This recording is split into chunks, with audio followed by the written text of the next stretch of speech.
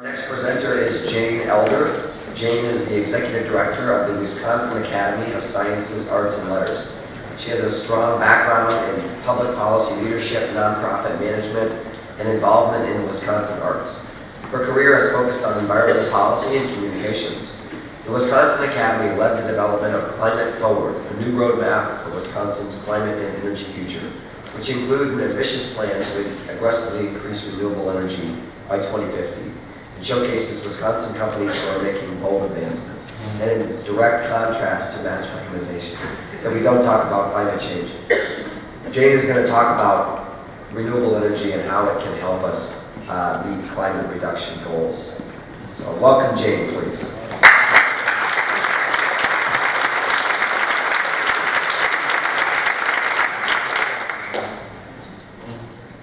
So no apologies. I'm going to enthusiastically and unabashedly talk about climate change today. The Wisconsin Academy of Sciences, Arts, and Letters uh, was established in 1870 by an act of the legislature, and we're still here today. We try to bring people together at the intersection of the sciences, arts, and letters to inspire discovery, illuminate creative work, and foster civil dialogue on important issues of the day. One of those important issues of the day is our changing climate and our energy systems. So we currently have an initiative on climate and energy policy and practice in Wisconsin, and I'll be talking about that here today.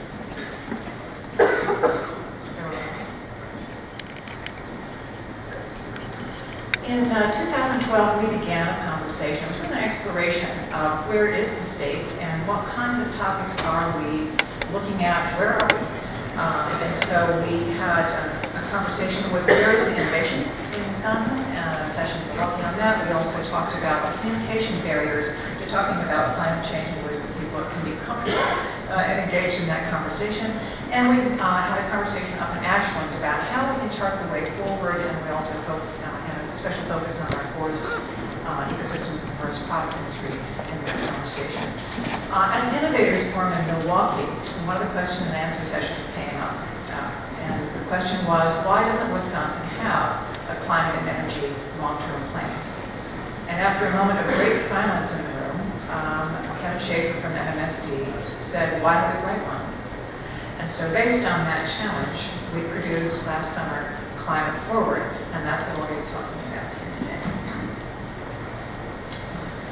We pulled together a team of people who came from all kinds of walks of life with an interest in climate and energy issues, academics, business leaders, folks with utility experience, uh, nonprofit advocacy groups, uh, community agencies, and we just began a conversation, and our steering committee became a committee of people who said yes because we asked them to do a lot for absolutely no compensation on very complicated and challenging issues, and they did a marvelous job for us. So what we'll present is a compilation of that conversation and where it's led us. I think it's just the beginning of a conversation that I hope will help.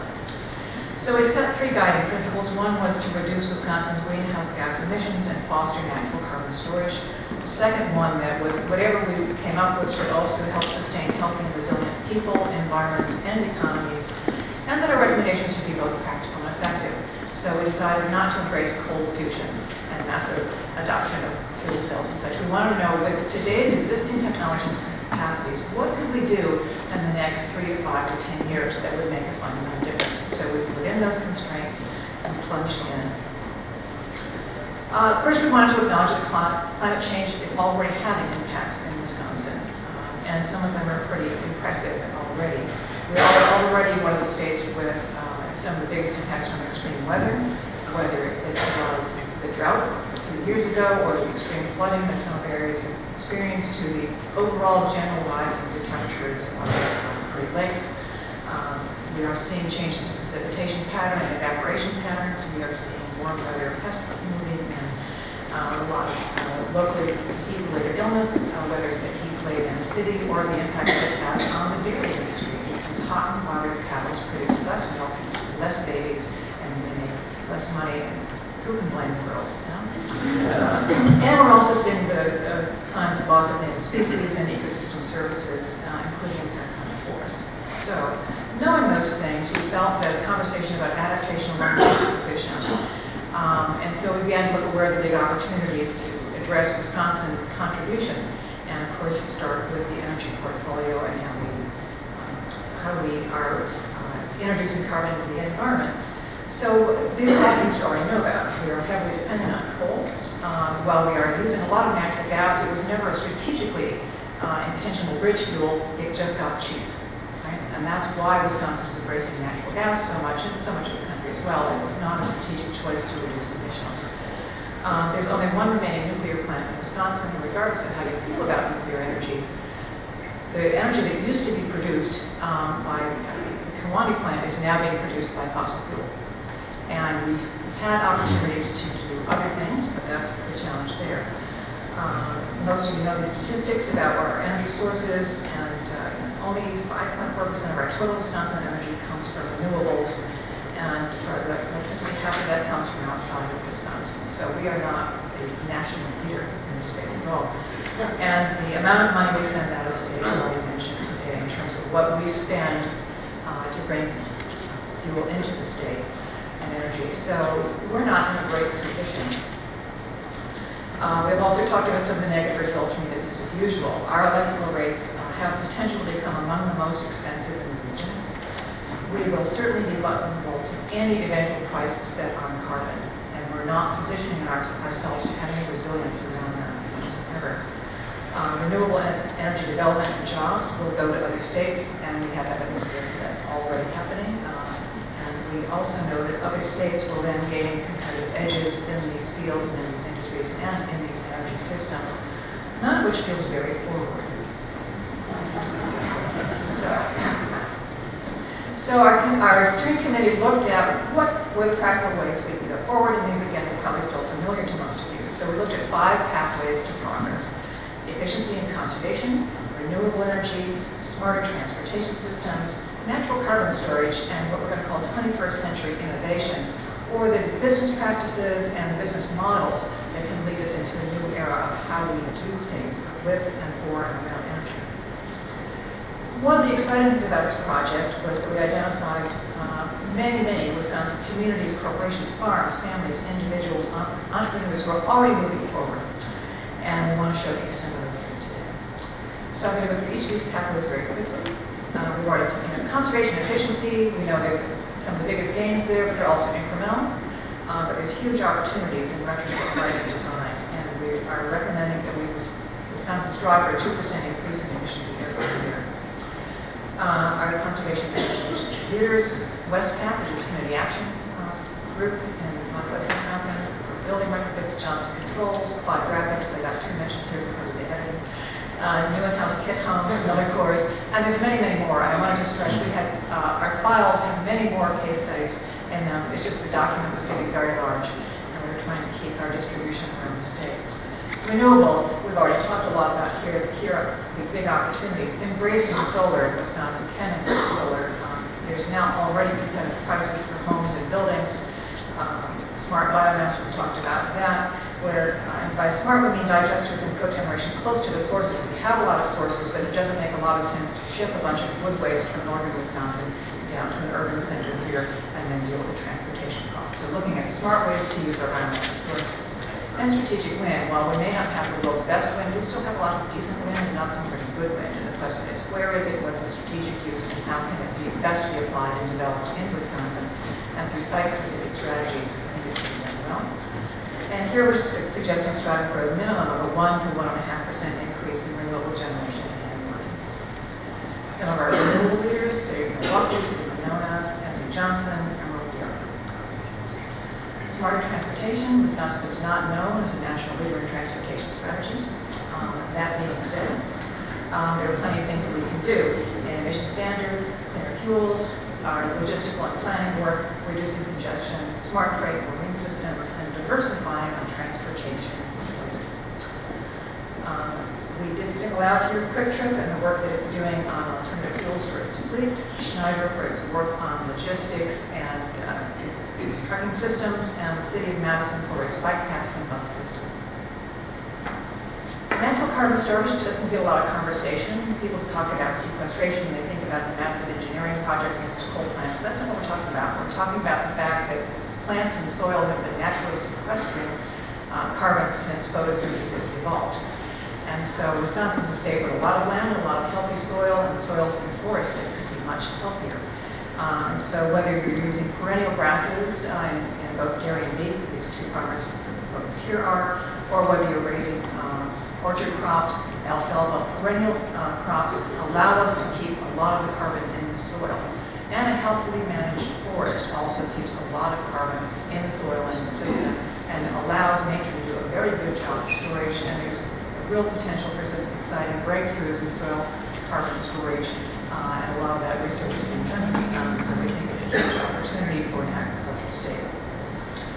We looked across our case studies of what the game-changing attributes were, and just quickly, uh, and these won't be surprising to you, that uh, in many cases there was leadership from the top, that the CEO or the board of directors, somebody said, we are going to do this. Uh, teamwork here is a shorthand. Um, really, it's a culture of learning and innovation. When we found organizations and businesses and communities that were excited about learning and innovation and becoming on the leading edge, that spread throughout the organizational culture. So organizational culture was important baselines and metrics, measuring whether or not they were making progress, co-conservation across products and processes, um, the important role that public-private partnerships played in a lot of these getting off the ground, and then whether or not these organizations were willing to tell their stories. We found in the business community, some people were very proprietary, and they weren't used to cheer, getting you know, cheerleaders about their processes because they thought that was an internal secret. And somehow we have to be able to give people the confidence to, to claim their victories on this area. We singled out three, what we call leaders in the vanguard of big change. One of them the Health System. I don't need to explain why after your presentation. Uh, Organic Valley, from the, the farmer to the consumer, a whole system strategy. And the Milwaukee Metropolitan Sewage District, which is one of the national leaders in co-conservation between water and energy, has shifted its overall strategy for water management from the end of the pipe to the head of the watershed. And that notion of whole system thinking and looking at the relationship between co-efficiencies and co-generation and the relationship between water and uh, energy. Uh, fantastic. So Wisconsin needs to have this conversation. We're hoping that the climate report is one way we can help have that conversation go forward. Uh, and these are questions that I'm sure came up in the rate cases, and they didn't, they should have. What kind of Wisconsin do we want to live in? How do we want to better use our capacities in the state? Manufacturing, research, scientific, agricultural leadership. We have all these capacities. Can we tap them in this space? And one of our challenges, the Vanguard exit, and they're listed on your sponsorship list here and our, our list here. How do we help spread the word? We set the audacious goal, which is simply mirroring what the International Panel on Climate Change and the European Union have said, as that we should strive in Wisconsin for an 80% reduction of Wisconsin-related fossil fuels by 2050. And some of the bullet points I've already talked about here. Um, and, and we can only do this if we engage in new kind of sustainable business practice and new kind of models for utility systems and structures, and if we inform, educate, and engage the public. Um, we produce a Climate Forward in the summer. You can get it off our website, or if you want a, a print copy, we can also let you order it for $30, but they're free, and we have the QR codes here, we'll just look at paper, uh, and you're welcome to pick them up. Uh, and again, if you want, it's wisconsinacademy.org slash forward slash climate forward, and so you can download them for free. Over the course of this year, we're hoping to get the story out to other organizations and, uh, and people working in the field. On February 3rd, I think we're going to have a sellout, so this is your free early uh, invitation. Uh, uh, Steve Carpenter and Chris Kucharik and Bill Ingram are going to be talking about how we can use storytelling, the arts, and scenarios to help people understand strategies and solutions around climate change. And that'll be February 3rd at Overture Center at the Hamilton Hall. And you can register online because if you don't, they'll be available online. So in any event, we're excited to be an organization that can be a place where we can share these conversations with other leaders and hope that we can engage you in the conversation going forward. Um, I will say a few things about our recommendations. Um, there are, are, about 45 specific recommendations in the report. And uh, what we did was we realized with the years with intense effort, we could not put together a comprehensive 500-page tome on what Wisconsin could do. What we could do is put together an initial menu of options. So this is really meant to be places to begin the conversation and explore. And we are hoping that others will take a look at this and say this doesn't go really far enough. this is not aggressive enough, and here's a better plan. But we wanted to put something out there to move the conversation forward and hope that you will help us kick the can a little farther down the road.